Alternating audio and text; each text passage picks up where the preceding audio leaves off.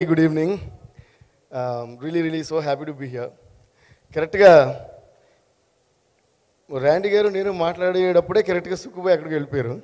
ఫ్రేమ్లోంచి miss అవుతున్నారు. సుక్కుబాయ్ వేరే you are please come back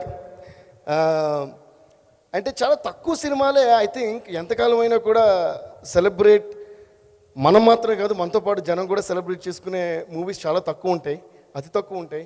అందులో I think this one of the most unforgettable films Arya. And thank you Dil Raju sir for this amazing film నేను రాజుగారితో first రాజుగారికి ఎందుకు thanks చెప్తున్నానంటే ఆర్య అనేది ఒక మూవీ మాత్రమే కాదు లైక్ ఇందాక శివబాలజీ గారు అంటున్నట్టు it's a whole pile of memories so అది చాలా ఎంజాయ్ చేస్తూ చాలా ఒకరినొకరు లవ్ చేసుకుంటూ చేసిన సినిమా. వన్ సైడ్ లవ్ అని మన సుక్కుబాయ్ ఏ టైంని ఏ ముహూర్తాన్ని ఈ సినిమాలో ఆ కాన్సెప్ట్ పెట్టారు కానీ మనం వన్ సైడ్ చేసాం. కానీ లోకం అంతా ఆల్ సైడ్ వేస్తున్నారు ఇస్తున్నారు మనకి ఈ రోజుకి. కొట్టండి బాగా కొట్టచ్చు దీనికి.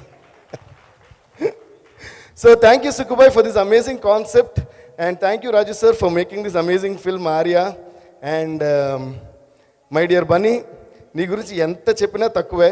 నేను ఎప్పుడు బన్నీతో మాట్లాడుతూ ఉంటాను Bunny I'm so proud of you అంటాను. అంటే బన్నీకి నా బన్నీ మీద నాకు ఒక ఫ్రెండ్లీ లవ్ అండ్ ఒక బ్రదర్లీ లవ్. ఎందుకంటే మేబీ ఇద్దరం చిన్నప్పటి నుంచి ఫ్యామిలీస్ అంటే అల్లు అరవింద్ అంకుల్ మేమంతా ఒక ఫ్యామిలీ లాగా అండ్ బన్నీ మేమంతా చైల్డ్హుడ్ అంతా చె- చెన్నైలో స్టార్ట్ అయింది.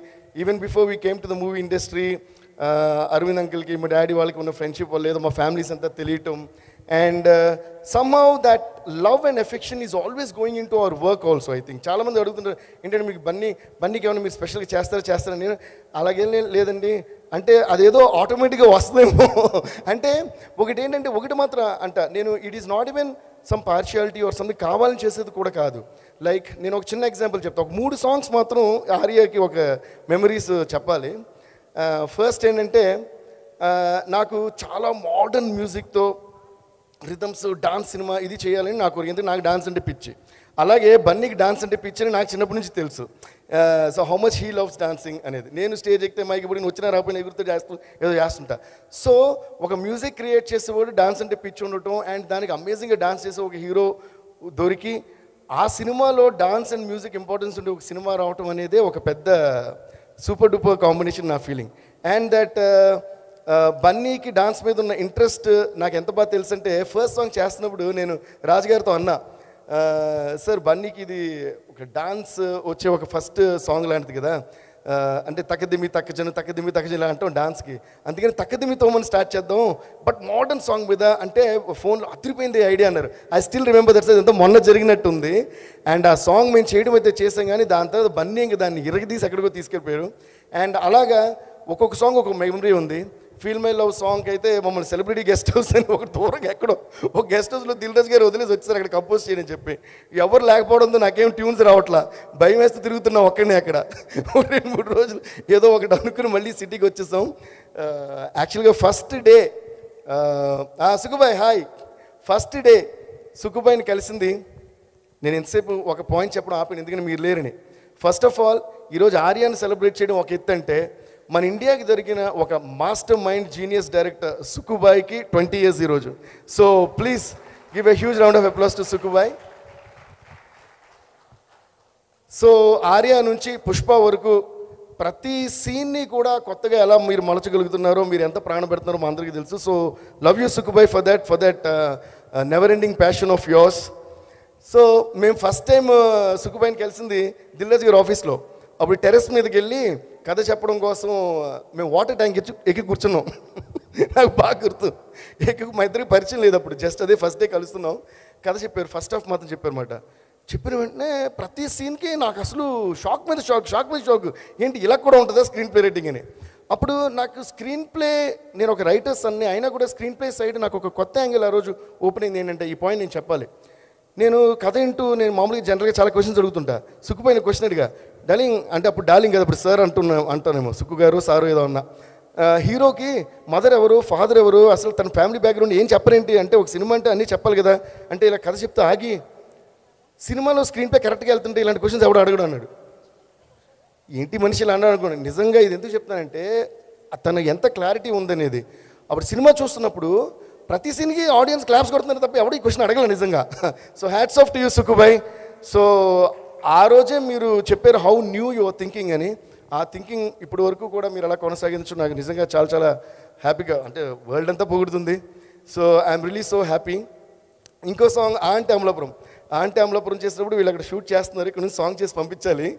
అప్పుడు రాజుగారేమో సాంగ్ ఏందా సాంగ్ ఏందంటే చేస్తున్నాను సార్ చేస్తున్నాను సార్ అంటున్నాను. సడన్గా ఒక ఐడియా వచ్చింది. ఏం చేయాలి? ఏదైనా కొత్తగా చేయాలని చెప్తే ఆ ఆ ఈ- మీద అలా వెళ్దాం చిన్నపిల్లలు క్యాచ్గా ఉంటుందని. ఆ అంటే అమ్మ ఆ అంటే ఆవు చిన్నప్పటి నుంచి చదువుకున్నాం కదా. ఆ అంటే అమలాపురం అని హాఫ్ నిద్రలో వచ్చిన ఐడియా అది. అంటే ట్యూన్ రానప్పుడు తపన పడుతుంటాం కదా. అప్పుడు నిద్రపోయినా లేచిన పళ్ళు తొంగుకున్నా స్నానం చేస్తున్న ఒక ఐడియా ఏదైనా వస్తుంది. అలా వచ్చిన ఒక ఐడియా. అమలాపురం అంటే మా అమ్మగారు ఊరు అది నేను పుట్టిన ఊరు. సో ఆ అంటే అమలాపురం ఆ అంటే ఆహాపురం అని పెట్టా. ఆ ట్యూన్ కూడా సూపర్ హిట్ అయింది అందరికీ నచ్చింది. సో ఇలాగ చెప్తూ పోతే చాలా మెమరీస్ ఉంటాయి. మనకి ఈ ఫంక్షన్ టైం సరిపోదు. So thank you Raju garu thank you సుక్కుబాయ్ and మేము ఇంత అందంగా పాటలు ఎంత చేసినా దాన్ని అందంగా చూపించాలి. అది మా ర్యాండీ గారు. రత్నవేలు గారు కడిగిన ముత్యంలా ప్రతి ఫ్రేమ్ని చూపించారు. సో ఆర్యాలో ఒక్కొక్క ఫ్రేమ్ ఎంత బాగుంటుందంటే మళ్ళీ మళ్ళీ రివర్స్ చేసుకుని చూడాలి ఇది. అనే అంత ఈరోజు చూసినా కూడా సార్ ఈరోజు షూట్ చేసినట్టు ఉంది సార్ అది. So thank you so much Randy sir and Bunny you created a trend with Arya సరే ట్రెండ్ ఒకసారి క్రియేట్ చేయడం ఓకే అది మళ్ళీ మళ్ళీ మళ్ళీ you are upgrading yourself your learning new things and you are working with so much of passion and that's what brought you here Bunny and that's why I'm always proud of you and to say that I'm your friend and ఈరోజు తగ్గేదిలే అంటే అసలు నువ్వు తగ్గుదానన్నా తగ్గినిచ్చే వాళ్ళు ఎవరు లేరు ఇక్కడ. లోకం అంతా. సో అస్సలు తగ్గేదేలే.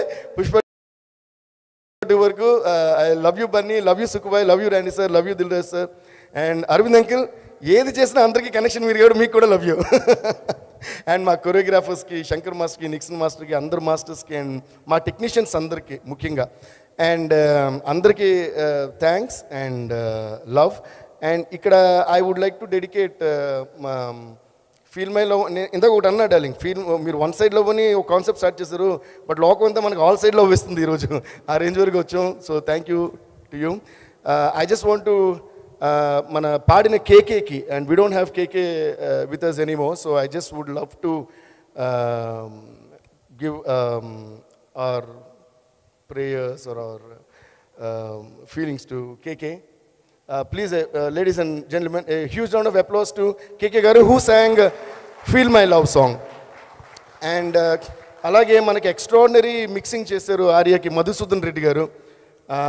ఆయన కూడా one big round of applause because we don't have them with us anymore and నువ్వుంటే తన నా నా నా నా అని మన Sitaram Sastry uncle extraordinary legendary lyrics మనకి రాసిచ్చారు. ఆయన కూడా చాలా చాలా థ్యాంక్స్ ఎక్కడున్నా వీళ్ళందరూ మనకి బ్లెస్సింగ్స్ ఉంటాయి.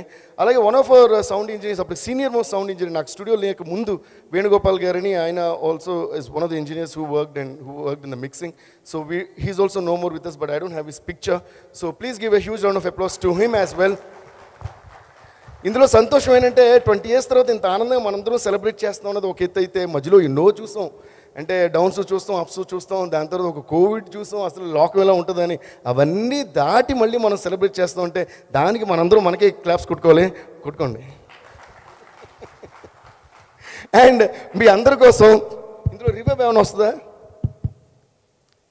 బుర్రలు ఊపుతున్నా ఏం రావట్లే? హలో?